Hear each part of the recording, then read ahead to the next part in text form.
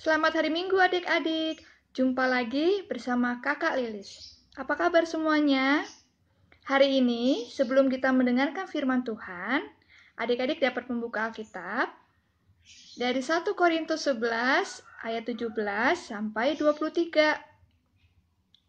Dan adik-adik dapat berdoa bersama mama papa.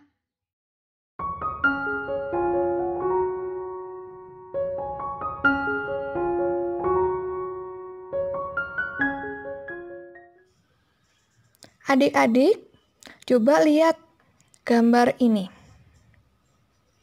Apa yang sedang mereka lakukan? Nah, selanjutnya, kakak punya gambar ini. Ada yang tahu ini gambar anak sedang apa? Iya, adik-adik. Gambar yang pertama tadi adalah gambar anak yang serakah. Siapa yang pernah mendengar kata serakah? Serakah itu apa ya? Serakah itu sikap yang baik, bukan ya? Nah, serakah itu artinya tidak mau berbagi. Sama seperti gambar yang pertama tadi, adik-adik.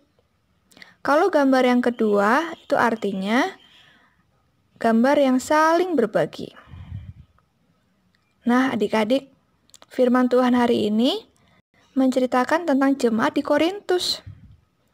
Rasul Paulus menjelaskan bahwa perjamuan makan yang dilakukan di jemaat Korintus tidak sesuai dengan kehendak Tuhan. Kenapa ya? Ada yang tahu tidak? Karena jemaat di Korintus itu hanya mementingkan diri sendiri mereka tidak mau berbagi makanan dengan orang-orang di sekitarnya. Mereka hanya memikirkan untuk perut mereka. Mereka tidak mau berbagi dengan saudara-saudara mereka yang miskin, yang lapar. Karena itu, Rasul Paulus menasehati agar orang-orang kaya di jemaat Korintus tidak serakah.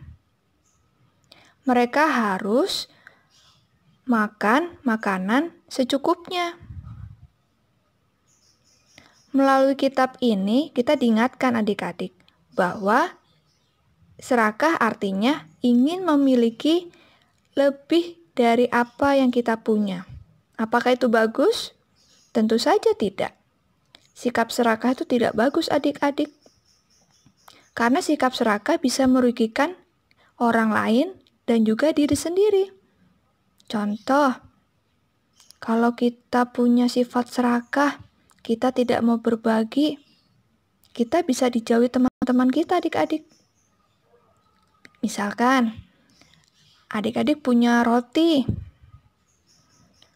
Adik-adik nggak mau berbagi nih dengan kakak atau adik atau adik-adiknya rotinya dimakan sendiri. Kira-kira apa yang terjadi? Adik-adik bisa sakit perut karena tidak mau berbagi. Ingat adik-adik, sikap serakah tidak pernah mendatangkan kebaikan. Bahkan bisa mengganggu kesehatan kita adik-adik. Nah, mari adik-adik untuk menghentikan sikap serakah kita kita harus berbagi apa yang kita punya. Kita tidak boleh pelit ya adik-adik. Sikap serakah bukan sikap yang benar, karena akan menyakiti hati sesama kita. Karena itu, sikap serakah harus dihentikan dengan sikap rela berbagi dengan sesama. Demikian firman Tuhan hari ini. Tuhan Yesus memberkati.